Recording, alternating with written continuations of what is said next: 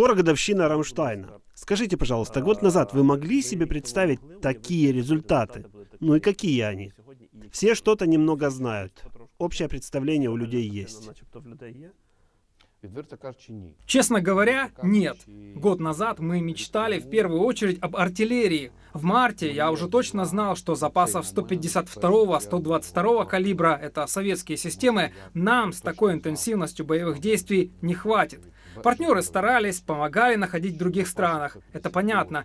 Но я уже тогда, в марте, начал с ними переговоры о немедленном принятии решения об учебных курсах для наших артиллеристов на 155 миллиметровой системе, рассчитывая потом их убедить нам это оружие дать. И второе, тема разговора с нашими коллегами, прежде всего Ллойдом Остином и Беном Уоллесом, министрами США и Объединенного Королевства. Их называют Secretary of Defense, чтобы вместо градов, ураганов и смерчей, которые они нам искали, говорить о передаче М270. Это МЛРС типа Хаймарс. Тогда это было фантастикой. Мне ответили, Алексей, это невозможно. Сначала. Первое заседание Рамштайна в апреле означало тектонический сдвиг в наших переговорах. Лидерство США. Нужно их поблагодарить за саму идею формата Рамштайна. Они называют его контактной группой. Я называю его клуб Рамштайн, потому что там уже больше стран, чем участников НАТО. Более 54, противовес 31. Первые встречи, переговоры, выступления. Меня поразили обращения Ллойда Остина и Марка Милли. Они очень были настроены на победу Украины, и это вдохновляло. Потом уже мы обсуждали сроки, своевременности и так далее. Но тогда мы и представить не могли будущий прогресс в поставках оружия. Эксперты любят говорить о переломе в ходе боевых действий, ситуации на поле боя как произошел этот сдвиг, скажем, не сугубо дипломатический, а военно-дипломатический сдвиг в переговорах Рамштайна.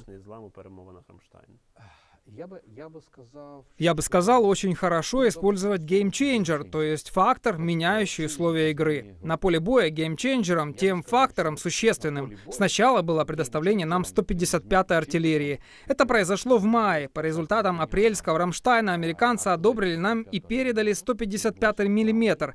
Это М3 семерки. Его называют М777. Наши ребята называют его «три топора», по-разному. И это открыло окно возможностей, чтобы и другие страны давали нам 155 мм. Дальше пошли французские «Цезари», немецкие «Панцергаубицы 2000», М109, ТРФ, «Крабы» польские, «Сюзанны» словацкие и так далее, и так далее, и так далее. То есть у нас 9 систем сегодня. В июле вторым геймченджером, серьезным решением стала передача «Хаймерсов» и М270 МЛРС, поражающих врага на расстоянии 80 километров. Это вдвое-втрое, дальше обычной артиллерии, что позволяет уничтожать важные цели, например, например, склады с амуницией, топливом и, главное, командные пункты. Прилетала туда, где они не ждали. Это позволило провести много операций, в частности, подготовка по Херсону, уничтожение дамб, мостов, переправ. Все это в клубе «Рамштайн» укрепляло желание нам помочь, именно потому что мы, наши представители сектора безопасности и обороны, силы обороны, демонстрировали способность быстро овладевать иностранной техникой. Наши военные приезжали на курсы и всех удивляли. Обычно подготовка на сложных артсистемах 3 месяца. Наши же это делали за 3 недели, за 21 день. Причем не формально, а реально. Они отказывались через 8 часов идти отдыхать, говорили, учите дальше, 10-12 часов, сколько будет нужно.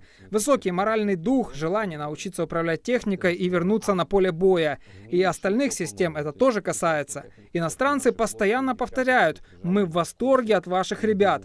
Тоже и в Стокгольме. Шведы учат наших работать на CV-90. Это одна из суперсовременных бронированных машин.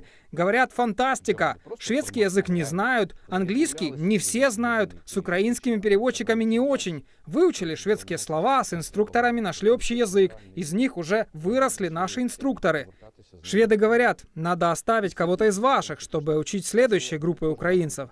Наши иностранные партнеры видят, как мы быстро учимся, потому что хотим этого, и как мы применяем знания на поле боя эффективно. Не просто в небо, как в монету, а реально четко.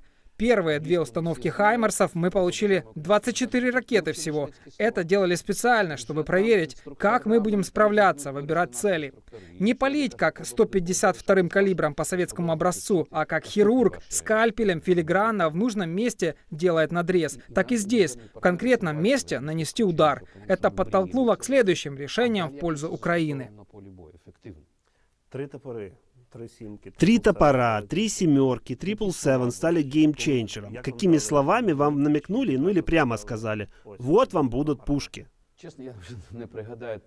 Не помню уже, какими словами, но помню свои эмоции. Каждый раз, когда я что-то новое просил у наших партнеров, каждый раз я слышал «нет», или «это невозможно», или «не сейчас», или просто уклонение от прямого ответа.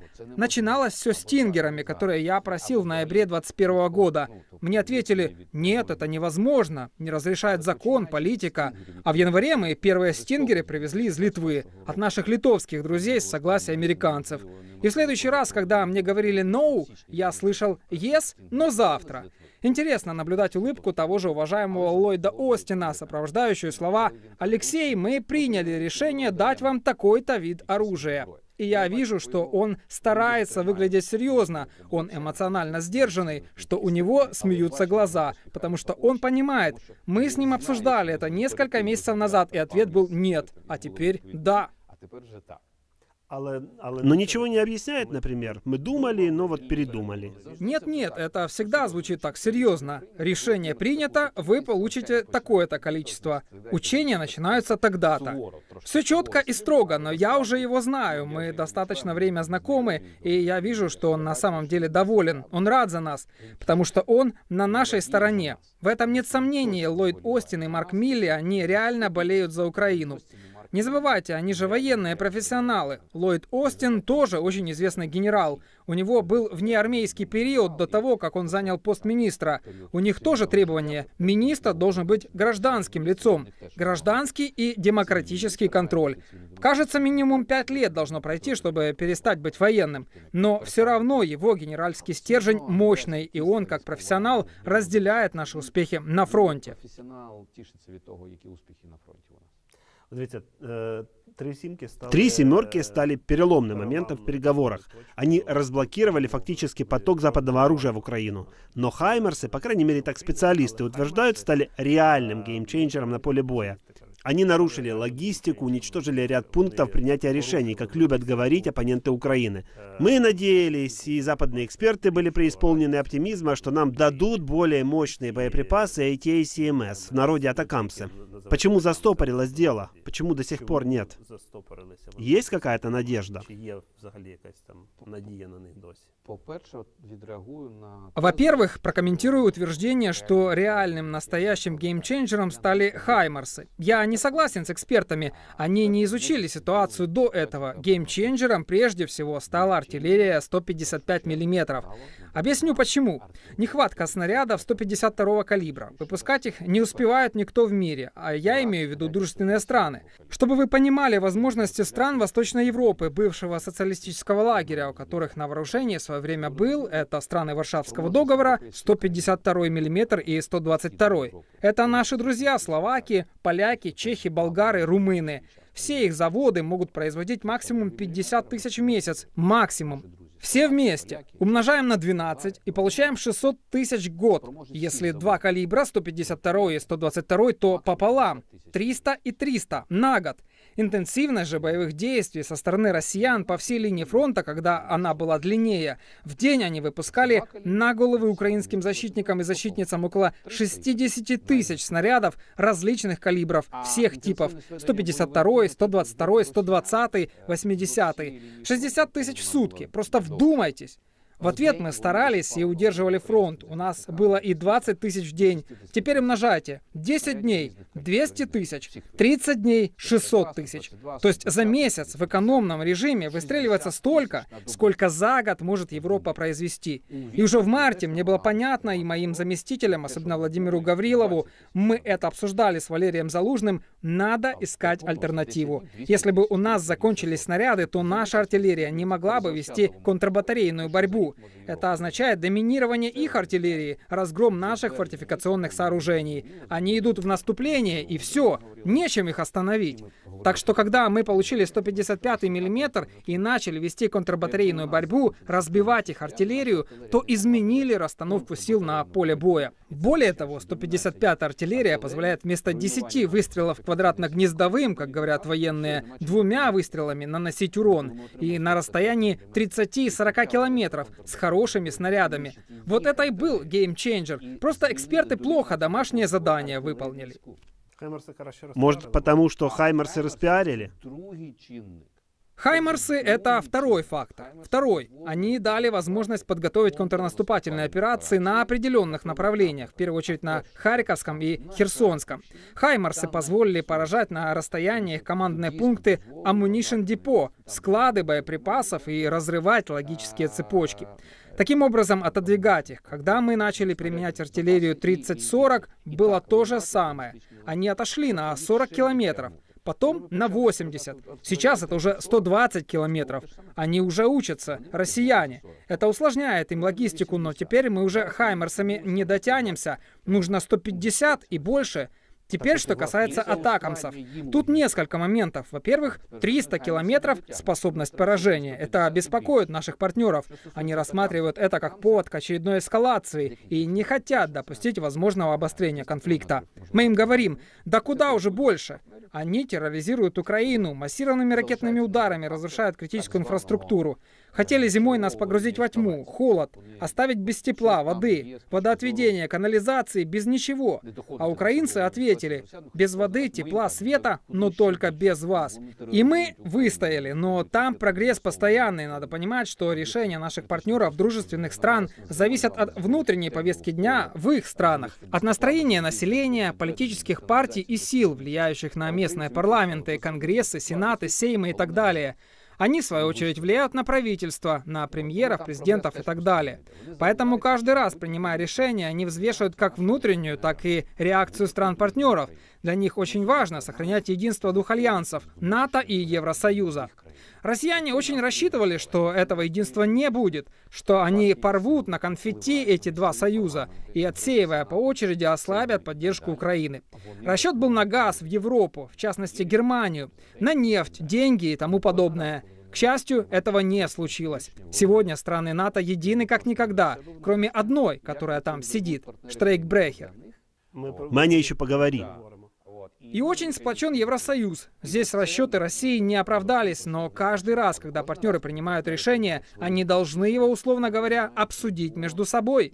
Поддерживают ли все этот подход и будет ли он эффективным. Все говорят про атакамсах. Все говорят об атакамсах. Я вас спросил об атакамсах. Думаю, это очень важный вопрос для украинцев. Несколько месяцев назад была новость, что Вашингтон пошел на уступки, и Украина получила не атакамсы, но управляемые бомбы Боинг. Дальность действия которых 150 километров, если не ошибаюсь. Какая ситуация? Получили или они в производстве, они еще на заводе? Вони ще тільки на заводі. Они в производстве. Да, это новые разработки. Главное, что есть политическое решение, они профинансированы. Надо уметь читать сообщения американцев о предоставлении нам очередного пакета помощи. Они делятся как минимум на три типа. Когда звучит Presidential Drawout, это означает, что прямо здесь и сейчас со склада что-то передадут на указанную сумму и согласно оглашенному перечню. Когда звучат другие аббревиатуры, это означает, что заказ передают производителям, выкупают и через определенное время будут поставки. Или же снято со склада, но будет возмещено. Это обязательно, чтобы не ослабить свою обороноспособность. Так что многие позиции из анонсированных пакетов в процессе подготовки и передачи нам. Ну а сроки известны или это секретная информация? Я просто сейчас не готов, не помню. У меня столько дат в голове по каждой позиции. Просто скажу, что некоторые даже не на 23-й, а на 24-й год уже заказаны для нас. Это на Это показатель оптимизма или они готовятся к продолжительной войне? Думаю, это говорит о том, что они осознанно, прагматично подходят, понимая, даже если война и закончится в этом году, то это не означает, и это логично, что россияне дружно сядут в какую-то очередную разработку Илона Маска и полетят в космос. Они останутся нашими соседями, то есть угроза останется. В стратегии НАТО, утвержденной на Мадридском саммите на 10 лет, определено, что одна из главных угроз для НАТО — это Россия. The main threat Украина продемонстрировала всему миру, что мы единственная страна с боевым опытом, не теоретическим, а практическим, как можно останавливать россиян, разбивать россиян и гнать их с наших земель, используя в частности и западные образцы оружия. А это значит, там прекрасно осознают, что мы с вами восточный щит Европы. Мы с вами восточный щит НАТО, европейских стран. Следовательно, в их интересах им выгодно оснащать нас. Как минимум, обеспечивать оружием и другими вещами, связанными с обороной. Чтобы мы этот щит укрепляли, держали. Если вспомнить все фильмы о войне с орками, мы и есть та стена, сдерживающая орков. Так что это логично думать, какое вооружение у нас будет и завтра, чтобы мы держали оборону плане боеприпасов вы... Ну, что касается боеприпасов. Когда вы стали министром, то практически буквально пришли на выжженное поле. Балаклея, а до этого Сватова, Калиновка, Ичня. Честно говоря, украинцы тогда скептически отнеслись к тому, что за этим могут стоять россияне. Думали, что это халатность, отголоски советчины. Ну, не будем говорить о причинах, но по факту склады были уничтожены. Много боеприпасов, таких необходимых сегодня, было просто уничтожено. Если бы Рамштайна не было, или он оказался нерезультативным, насколько бы хватило ресурса, сколько бы выдержала Украина? Дуже драматично был бы очень драматичным был бы финал. Мы бы уже летом вели партизанские войны со стрелковым оружием. У нас артиллерийских боеприпасов уже бы не было. Два месяца. Два месяца где-то. Скажем так, летом уже все. Но благодаря западным боеприпасам, плюс они помогают нам и с боеприпасами советского образца, просто в других объемах. Это позволило нам сделать замещение. К примеру, когда получили ту же 155 миллиметровую артиллерию, то существенно сократили использование 152 или 122 калибра.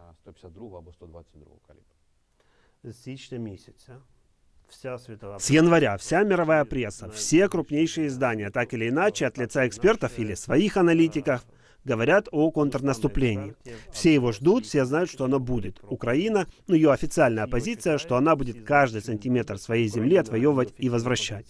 Так мы видим свою победу. И тут президент Зеленский заявляет, мы не можем, не хватает оружия. Какие перспективы? Что говорят ваши коллеги, участники этих переговоров?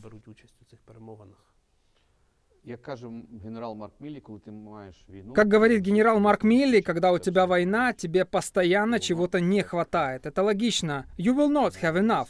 Конечно, мы благодарны партнерам за поддержку, искренне. Мы консультируемся с ними, в том числе и по вопросу контрнаступления, очередного. Напомню, почему мир поверил в это контрнаступление. Потому что мы уже это сделали на Харьковщине и Херсонщине, а до этого на Киевщине, Черниговщине и Сумщине. И россияне всему миру продемонстрировали, как они это называют – жест доброй воли. Вот мы их и готовим к очередным жестам доброй воли, как это было на острове Змеином. Но серьезные контрнаступательные операции требуют ресурсов, и не только человеческих, и не только количество, но и качество. Людей надо подготовить, научить, тех, кто будет на тех направлениях, и вооружить, соответственно. Мы прагматично рассчитываем оружие, бронетехнику, танки и все необходимое, боеприпасы на каждое подразделение. Почему это важно? Почему президент заявляет западным партнерам, что мы еще не готовы? Потому что ждем, что нам дадут больше. Главное отличие украинцев от россиян, прежде всего как нации, а также военно-политического руководства, для нас человеческая жизнь – наивысшая ценность. Это значит, что жизнь наших воинов, наших защитников и защитниц – самая большая ценность. Наша задача – отвоевывать свои территории, сохраняя жизнь наших ребят. У россиян такого нет. Они используют своих военнослужащих как пушечное мясо. Это тактика мясорубки, волнами бросать, как в районе Бахмута. Уже седьмой месяц наступают. По метру отщипывают, но оставляют на поле боя сотни и сотни солдат. В среднем, по нашим оценкам, за день под Бахмутом они теряют 500 человек. Это раненые и убитые вместе. 500 за сутки. Только вдумайтесь. Вагнеровцы, уголовники, освобожденные зэки и просто военнослужащие волнами идут и ложатся, ложатся, ложатся. У нас другой подход. Поэтому нам нужно оружие в необходимом количестве и качестве, чтобы в ходе контрнаступления беречь жизни, минимизировать потери.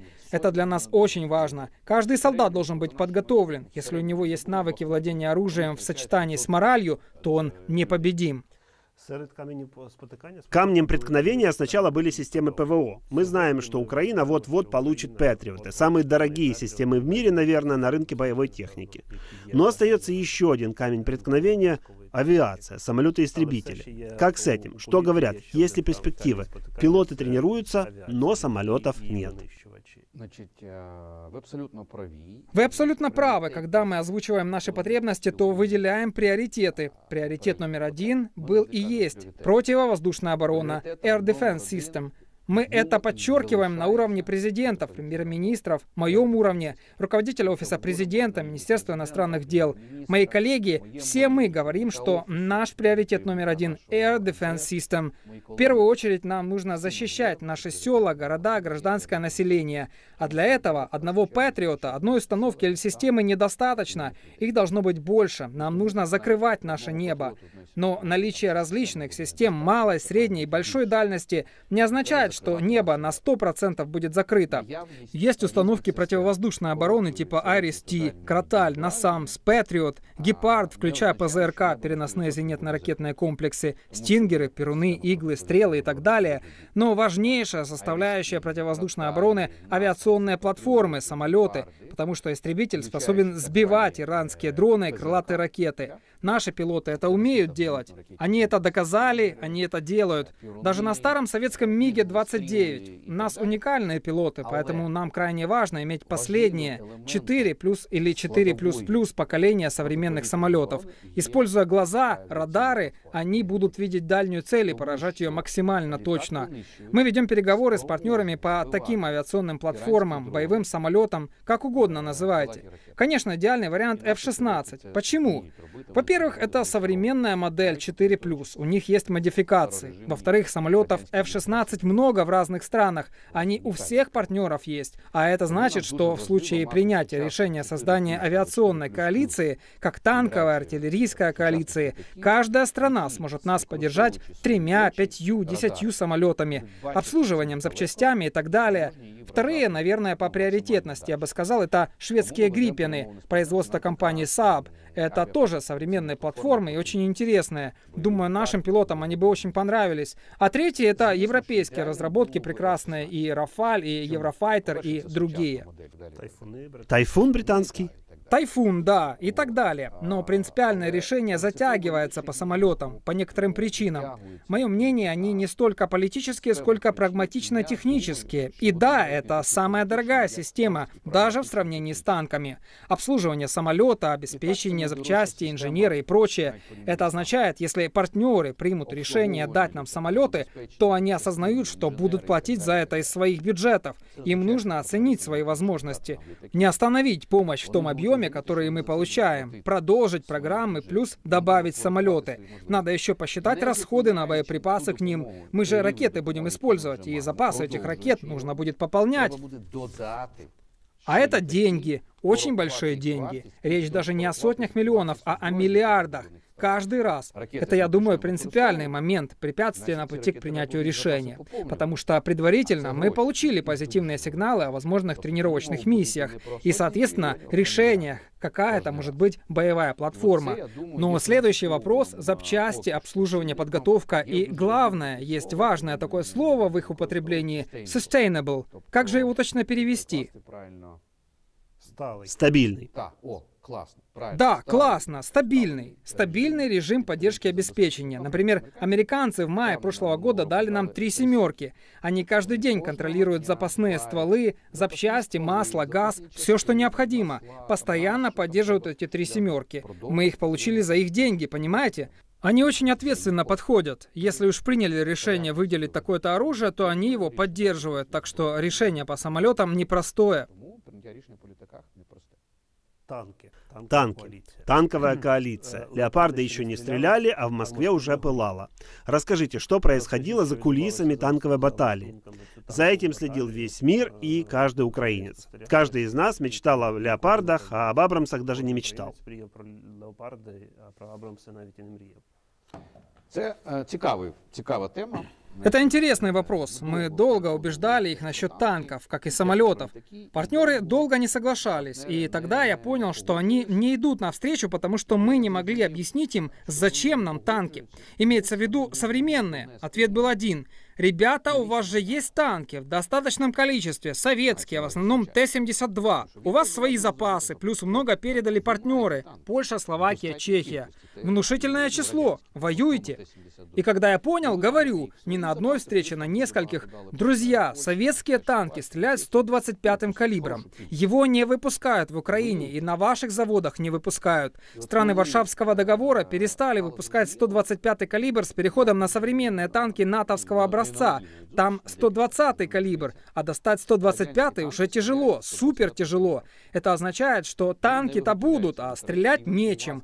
Поэтому мы вас просим принять принципиальное решение перевести Украину на основной боевой танк со 120 калибром. А теперь давайте посмотрим, каких танков больше всего в мире. Конечно, стало понятно, что больше всего леопардов, и они есть у многих стран. Первые леопарды со 105 калибром, а следующие со 120. Тогда еще министром обороны Германии была Кристина Ламбрехт. Она приезжала к нам в гости. Я ее встречал и возил в Одессу. В хороших были отношениях, и я говорю, давайте хотя бы начнем обучение на ваших танках. Больше того, я договорился с испанкой, министром Испании. Она давала 10 леопардов, которые стояли в Латвии, а министр обороны Латвии давал полигон и инструкторов. То есть на испанских леопардах будем учить наших танкистов. Говорю, давайте начнем учение, а когда будет решение, то и будет.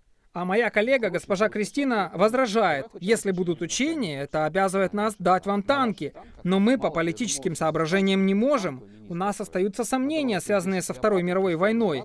Не могут немецкие танки первыми быть в Украине, пока партнеры не примут совместное решение. Это должно быть решение Альянса. Мы зашли в тупик вроде бы, но потом пришлось поговорить с польским министром Мариушем Блащаком и господином Лакорню, французским министром, уважаемым Беном Уоллесом и Ллойдом Остином. С этими четырьмя ключевыми игроками я провел переговоры, объяснил им ситуацию. Мы пришли к такому формату. Польские друзья готовы дать свои леопарды Украине, немцы дайте согласие. Это прозвучало в публичном заявлении президента Польши Анджея Дуды, если не ошибаюсь, во Львове во время визита в Украину. Параллельно Себастьян Лакорню убедил президента Макрона. Он выступает с публичным заявлением, что пожимает руку Зеленскому и дает АМХ-10, легкие танки французские. Ему не нужно ничье согласие. Параллельно британские друзья заявляют на переговорах премьер-министра с нашим президентом. Челленджеры британские готовы защищать независимость и неприкосновенность Украины на полях российско-украинской войны. Мы готовы запустить учебные курсы. И американские друзья говорят, Абрамсы тоже к вашим услугам. Батальон готовим. Да, его надо подготовить. Это сложные системы. Мы приезжаем на Рамштайн, устраиваем ланч, так называемый танковый ланч, с господином Мариушем Блащаком, нашим польским коллегой. Он уже даже не министр, а целый вице-премьер-министр. И начинается беседа. Новый министр Борис Писториус, министр обороны, второй день как в офисе, как он выразился, только назначен, говорит, мы еще решение не приняли, а Бен Уоллес ему, дружище, мы все равно уже обучаем украинцев. Кстати, на немецких полигонах. Французы дают, поляки готовы, американцы готовы, мы тоже готовы. Давай хотя бы начнем с тренировочных миссий. Мы дожали тренировочные миссии на леопардах. Немцы сказали, хорошо, тренировочные миссии мы, наверное, одобрим. Другим странам разрешим проводить учения на леопардах. И в конце того Рамштайна, фактически в заключении, Ллойд Остин предоставляет мне слово. Я всех поблагодарил за такой насыщенный день и сказал, что мне кажется, я слышу, как уже рычат леопарды. Это я цитирую. На английском «roaring» — рычат леопарды. Все посмеялись одобрительно. И Борис Писториус понял, что без вариантов. И буквально через несколько дней, я так понимаю, он вернулся с канцлером Шольцем, они приняли политическое решение и объявили, что леопарды будут. Только прозвучало, что леопарды вторые будут, сразу начала формироваться танковая коалиция. Немцы были заинтересованы в лидерстве. Они начали подтягивать Нидерланды, шведов, испанцев, португальцев, канадцев. Все сказали, мы понемногу даем леопарды, а там и леопарды первые подоспели. Так родилась танковая коалиция. Очень интересно про Абрамсы. Про Леопарды много сказано. Вот Абрамсы, все знают, что они будут где-то осенью. А, Конец лета, начало осени. Что они будут делать? Какие задачи выполнять на поле боя? Украинцы не очень понимают. Что мне удалось прочитать в западной прессе, так это то, что американцы будто бы снимут часть брони, содержащей объединенный уран, и не дадут боеприпасы с объединенным ураном, которые способны поражать такую броню. Объяснение, ну, следующее. Экспортируя такие танки, они всегда это делают, это их секретное оружие, секретное оснащение. Они всегда снимают это с Абрамсов. И тут британцы, отвечая на запрос прессы заявляют, что будут давать снаряды с объединенным ураном.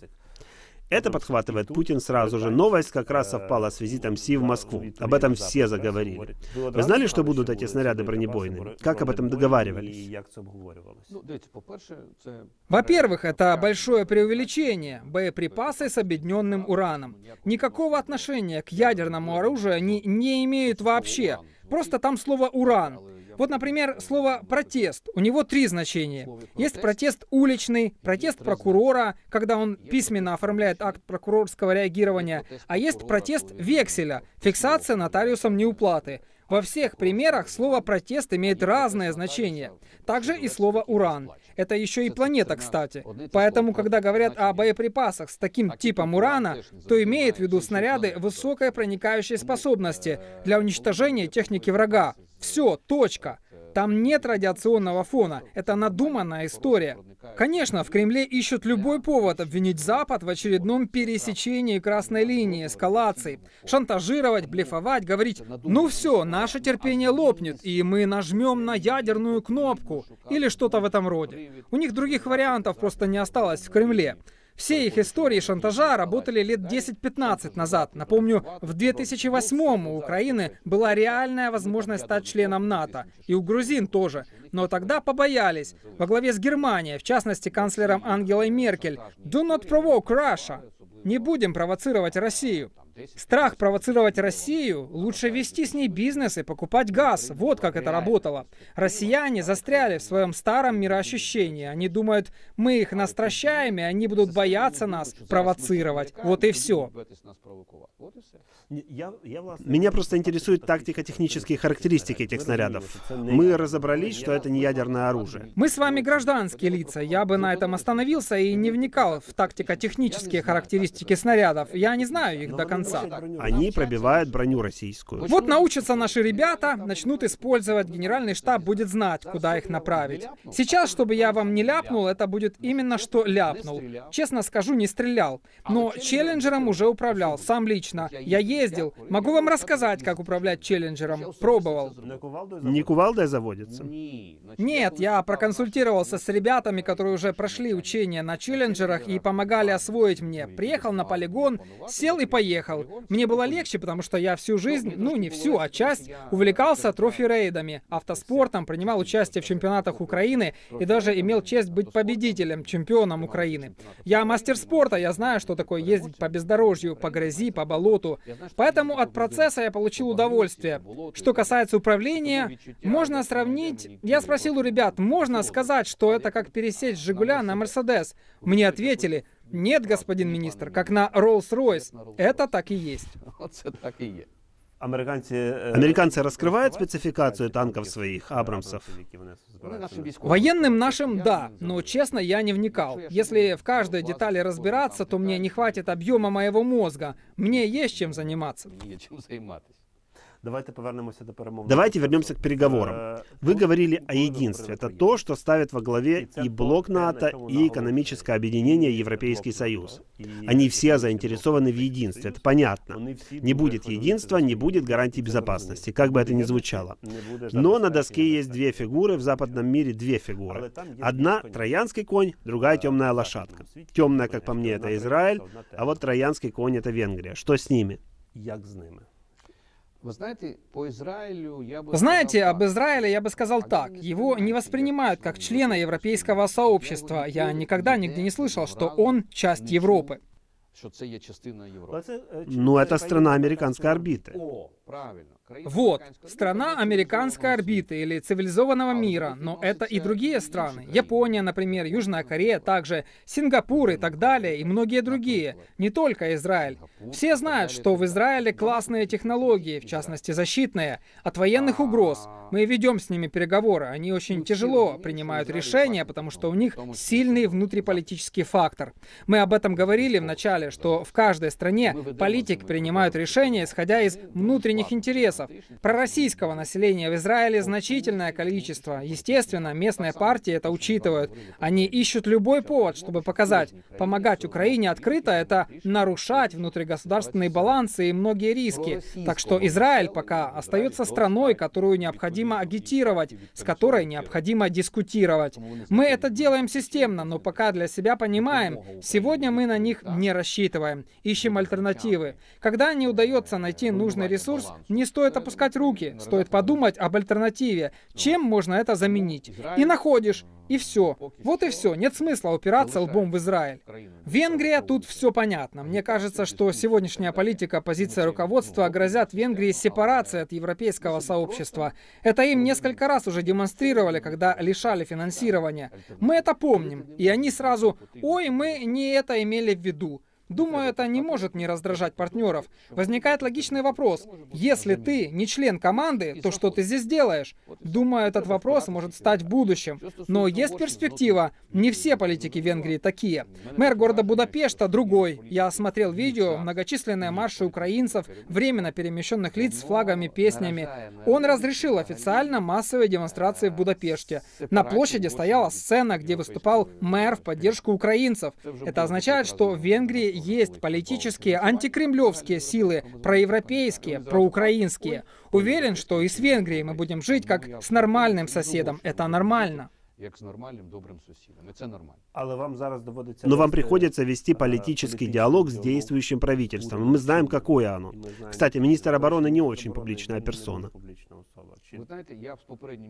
С предыдущим министром я хотя бы был знаком. Мало того, я лично один из первых визитов своих официальных после назначения сделал в Будапешт. Общался с министром обороны и главнокомандующим. Мы вместе с Валерием Залужным тогда полетели. Это было до вторжения. Продемонстрировали им, что мы готовы к нормальным отношениям, сотрудничеству, что можно найти решение всех недопониманий. А новоназначенный вообще не проявляет инициативы. Не знаю даже, как он выглядит. Ни малейшего контакта не было. Будете пробовать наладить отношения? Да я ж не проти. Я ж не проти. Дело не во мне, я не против, я только за. Но пока у них команда главы правительства, они все вот так, понимаете? Что здесь хорошего? Из-за их вето не работает комиссия Украина-НАТО уже столько лет. Наложили вето венгры. Все встречи в Брюсселе проходят, мы приглашены, Несмотря на их вето, мы встречаемся со всеми странами НАТО официально, с господином Столтенбергом и другими участниками. Я выступаю на заседаниях. Представитель Венгрии, посол, сидит и слушает. На самом деле мне их жаль. Не понимаю, как им не стыдно. Они же теряют субъектность. Это все наблюдают. Вы европейская страна. У вас нет субъектности. Вы подыгрываете Кремлю, и все это видят. Венгры своей политической игрой унижают себя, унижают свой народ. А народ не виноват. Нормальные люди. Мы же соседи. Между нами никогда не было исторических проблем. Сколько межнациональных браков на Закарпатье? В чем проблема? Притесняют по языковому признаку? Это вздор. У нас больше ста народностей и национальностей в Украине. Ста! Какие проблемы? Есть государственный язык, украинский, а дома говори на каком угодно языке. Болгарском, еврейском, польском, греческом, крымско-татарском, любом. Русском, венгерском. Ну, последний вопрос, разве что будет еще уточняющий. Есть ли страны, которые тайно помогают? Есть. И не хотят светиться? Есть. И вы их не назовете? Не могу. Они же тайно это делают. Это небольшие страны. У них ограниченные запасы того или иного, поэтому они решительнее, смелее того же Израиля. Они предоставляют нам пакеты помощи, но просят об этом публично не объявлять. И другой вариант. Есть страны, у которых официально по Конституции нейтральный статус, например, Швейцария или Австрия. Но меня удивляет, что они выпускают очень много оружия. Каждый раз удивляет. Вы соблюдаете нейтралитет, но оружие производите. Определитесь, наконец. А делятся? Делятся? Нет, официально нет. Я вам скажу так. Скажем так, по большому счету здесь нет интриги. Большинство стран, которые помогают, делают это открыто. Просто есть виды оружия, которые мы не раскрываем, чтобы враг не знал, где, когда и что ему прилетит. Секретность по тактическим соображениям. Не розкривається з тих.